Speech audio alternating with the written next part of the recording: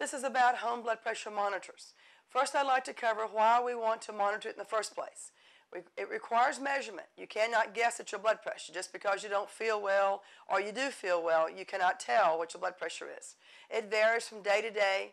It varies from day to evening. It varies with medications, emotions, what you drink, what you eat. At the doctor's office, called the white coat syndrome, it's usually higher there than when you get home. And it's really uh, good to measure because you get to uh, assess your uh, treatment plan and your medications with your doctor and letting him know what it is at home. And also, he can uh, better diagnose your case. Uh, also, if you're on medication, you want to see if you're hypertension, if you've been diagnosed with hypertension, end-place blood pressure, that if you have it or not. Now, with the monitors, there's a digital type, which is just a digital that you can get from any pharmacy or order on the internet or get from a local uh, equipment company.